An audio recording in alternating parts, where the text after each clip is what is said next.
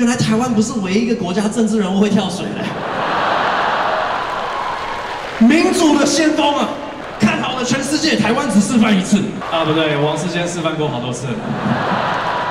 最近几个月，台北捷运也开始出现一些日文跟韩文的广播，某些站没必要吧？捷运进站听起来像这样：新海、新海、新海、新海、新海、新海 Station，谁分得出来啊？这到底有什么用啊？听起来很像是什么广告？维达利、意大利、维达利、维达利，碎了 Station。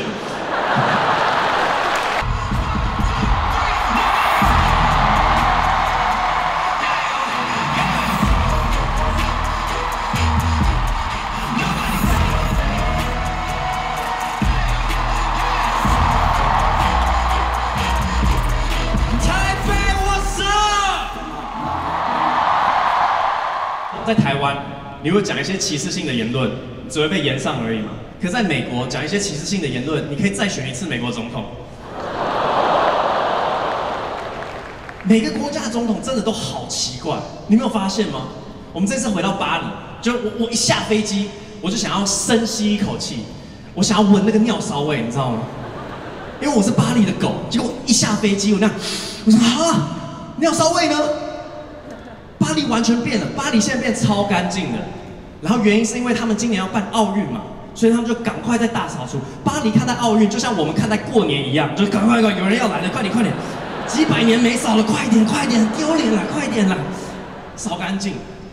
然后他们甚至是要把塞纳河清理干净。所以，呃，他们这次有动用一个工程，他们想要在上面举办非常多的水上竞技活动。然后，为了证明塞纳河到奥运那天已经干净到可以游泳了，巴黎的市长跟法国总统他们就说他们要跳下去游给大家看。我看到这个新闻，我就觉得好欣慰哦，原来台湾不是唯一一个国家政治人物会跳水的，民主的先锋啊！看好了全世界，台湾只示范一次。啊，不对，王世坚示范过好多次。然后，反正我就问当地人说：“哎，你们喜欢这样子的行为吗？塞纳河变干净？”他们说他们很讨厌。为什么？因为清理塞纳河花了他们十四亿欧元，换算的台币大概五百亿左右。他们觉得是浪费钱，他们想要抗议这项行为，所以他们现在已经约好了，有一大群人想要去塞纳河的上游大便。这是真的，你可以去 Google 新闻，他们在联署要塞纳河上游大便，因为它飘下来，就是等总统要跳水游泳那天，他们就可以让总统名游青史。同样为了奥运，他们这次有很多的地铁啊、捷运也翻新了，里面多了很多广播，这个我就觉得跟台湾蛮像的。我不知道各位有没有注意到，最近几个月，台北捷运也开始出现一些日文跟韩文的广播，大家都听到对不对？可是我想我们应该都可以同意，某些站没必要吧？